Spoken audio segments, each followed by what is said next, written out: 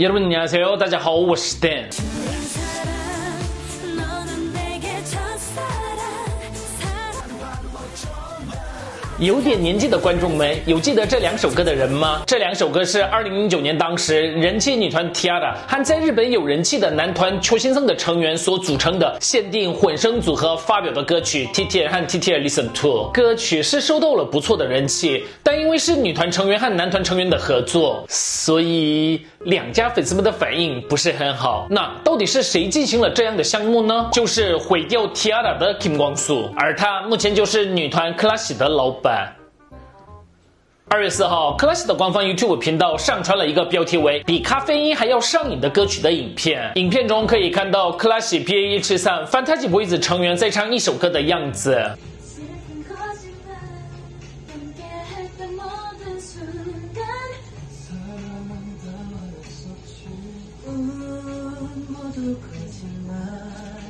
对。，Clash PA 1 7 3 Fantasy Boys 成员们组成了一个小分队 A six，发表了《萨兰姆的可吉买》这首歌。我们来看一下韩国网友们的反应。真的，这家经纪公司还正常吗？真是得真的。如果要这样对待团体，那就真的让 Clash 的成员们走吧。真是把年轻又珍贵的孩子们用过时的方法对待，真的太糟了。经纪公司拜托清醒一点，拥有这么好的成员，却只能拍这种东西吗？请也听听粉丝们的意见。不过看来狂叔对现在的这个分队活动很认真呢，已经有两次音乐节目的预录以及直拍，内容不断涌出。既然让这样唱歌的孩子做那种事，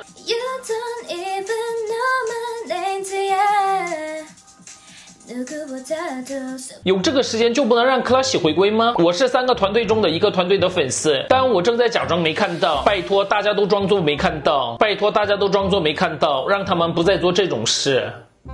对于混声小分队 A 6，大家觉得怎么样呢？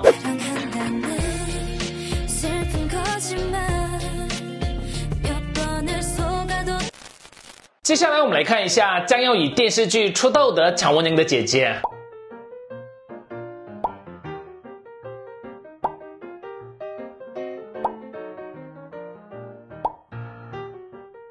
我终于知道大家为什么要姐姐出道了。文娘给人一种精致的感觉，但姐姐看起来就像是雕刻出来的。这么一看，真的很像，侧脸简直一模一样，下巴和脸色看起来姐妹俩很像。确实，文娘有闪闪发光的爱豆脸蛋，而姐姐则有相亲直接通过的长相。海报上的所有人都一点也不像高中生，全都像是大学生或是社会新鲜人。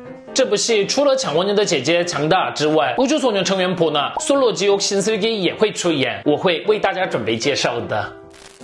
最后我们来看一下表演一结束完全变表情的 IU。